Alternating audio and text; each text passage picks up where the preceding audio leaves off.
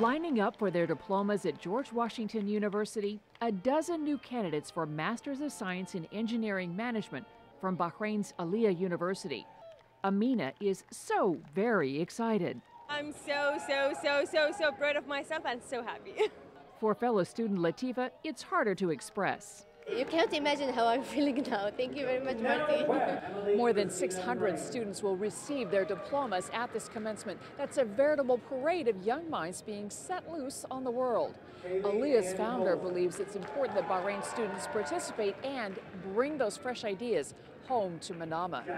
We would like to make sure that uh, our students are internationally recognized so we feel the introduction of program like the George Washington uh, is a very important.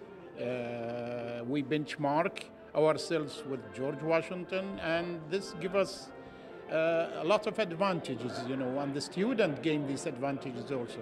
And what does George Washington University get in return? They give me other perspectives. We live in a multicultural world today, a global world. And the more we get to understand each other and, and our business ways and our engineering ways, I think it's good for both sides. Of course, for these students, the ceremony is only the beginning. I believe GW University, one of the best university throughout of uh, America, and it is giving a very rich and extensive program for engineering management. This program will improve my knowledge and uh, also will advance my career. This, and this is what I'm looking for.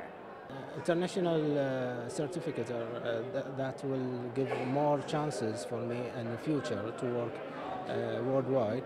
But uh, uh, actually, I, I prefer to, more to support my country, Bahrain.